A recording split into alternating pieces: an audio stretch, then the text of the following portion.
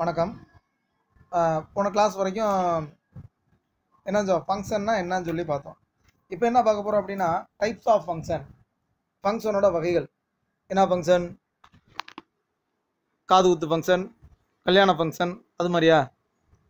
அதே மாதிரி தான் இதில் வந்து ஒன் ஒன் ஃபங்க்ஷன் அப்படின்னா ஒன்றுக்கு ஒன்றான சார்புன்னு சொல்லுவாங்க. மெனி ஒன் ஃபங்க்ஷன் பலவற்றிற்கு ஒன்றான சார்பு. ஆன் டு ஃபங்க்ஷன் மேல் சார்பு இன் டு ஃபங்க்ஷன் உள்நோக்கிய சார்பு. இதில் ஒன்றுமே கிடையாது. மேலே இருக்க ரெண்டு ஒரு மாதிரி டைப்பு கீழே இருக்க ரெண்டு ஒரு மாதிரி டைப் கம்பேர் பண்ணக்கூடிய விதத்தை மட்டும் பார்த்துக்கோங்க. இதில் இதில் நிறைய கன்ஃபியூஷன் வரும். சரியா? அதனால் கம்பேர் பண்ணக்கூடிய விதங்களை மட்டும் பார்த்துக்கோங்க. சரி இப்போ எக்ஸாம்பிளில் வச்சு பார்க்கலாம். அது உங்களுக்கு நல்லா ஈஸியாக புரியும். இப்போ பாருங்க இங்கே என்ன கொடுத்துருக்காங்க? ஒரு பக்கம் சாப்பிடக்கூடிய பொருள்கள் ஒரு பக்கம் சாப்பிடக்கூடிய ஆள். சரியா? இப்போ ஒன் ஒன் ஃபங்க்ஷன் வைங்க. ஒரே ஒரு உறுப்பு கூட தொடர்புபடுத்தணும். இப்போ பாருங்க இந்த லட்டு அந்த பையன் மட்டும்தான் சாப்பிட்றான். இந்த ஜிலேபி அந்த பொண்ணு மட்டும்தான் சாப்பிடுது. இந்த சமோசாவை அந்த வேட்டைக்காரர் மட்டும்தான் சாப்பிட்றாரு. அப்போ ஒருத்தரோட மட்டும்தான் என்ன செஞ்சிருக்காங்க? தொடர்பு படுத்தியிருக்காங்க அப்படி தொடர்பு படுத்தி இங்கே ஒரு பூனை இருக்கா? அந்த பூனைக்கு எதையுமே தொடர்பு படுத்தலை அப்படி தொடர்பு படுத்தாமல் இருந்தால் அது என்னது? ஒரே ஒரு உறுப்பையோ ஒன்றிற்கு மேற்பட்ட உறுப்புகளையோ தொடர்பு படுத்தாமல் விட்டாங்கன்னா அது என்னது? ஒன்றிற்கு ஒன்றான சார்பு.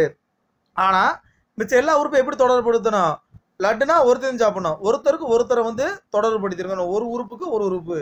அதாவது every pre image gave image every pre image gave image இது மாதிரி தான் வச்சுக்கணும். எக்ஸப்ட் ஒன் ஒரே ஒரு இமேஜுக்கு மட்டும் என்ன செய்யலாம்? ஒன்றோ ஒன்றுக்கு மேற்பட்ட இமேஜுக்கும் வந்து ப்ரீ இமேஜ் இல்லாமல் இருக்கலாம். சரியா?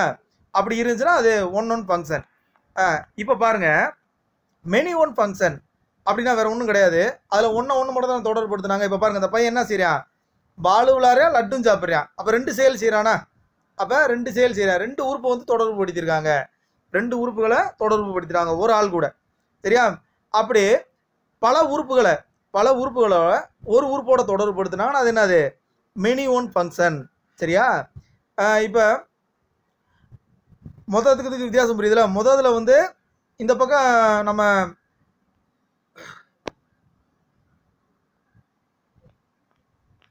கோடொமைன் சைடில் வந்து ஏதாச்சும் ஒரு எலமெண்ட்டை வந்து என்ன செய்யலாம்? லிங்க் பண்ணாமல் இருக்கலாம். ஆனால் இதில் எல்லா எலமெண்ட்டும் லிங்க் பண்ணியிருக்கோமா சரியா? இதுக்கு மொதல் ப்ராப்ளத்தில் பாருங்கள் எதை லிங்க் பண்ணலை? இந்த பூனைக்குட்டியை லிங்க் பண்ணலை. மிச்சம் எல்லாத்தையும். இதுனா இது கூட லிங்க் பண்ணியிருக்கான் எக்ஸ்ட்ரா வேறு எது கூடயுமே லிங்க் பண்ணலை. ஆனால் இந்த இந்த மெனி ஓன் ஃபங்க்ஷன் பாருங்கள் இவருக்கே ரெண்டு பேருக்கா சரியா? இப்படி பல உறுப்புகள். டொமைனில் இருக்கக்கூடிய பல உறுப்புகள் கோடொமைனோட தொடர்பு படுத்தப்பட்டுச்சுன்னா அது மெனி ஓன் ஃபங்க்ஷன் சரியா? ரிமைனிங் டைம் இருக்கக்கூடாது. அலையா வச்சுக்கணும் ரிமைனிங் டைம் இருக்கக்கூடாது. சரியா? ரைட் இப்போ இதுக்கு அப்படின்னா ஆன் டு ஃபங்க்ஷன் மேல் சார்பு. மேல் சார்புனா வேற ஒன்றும் கிடையாது. என்ன அப்படின்னா ரேஞ்சும் டொமைனும் ஈக்குவலாக இருக்கணும். ரேஞ்சும் டொமைனும் ஈக்குவலாக இருக்கணும்.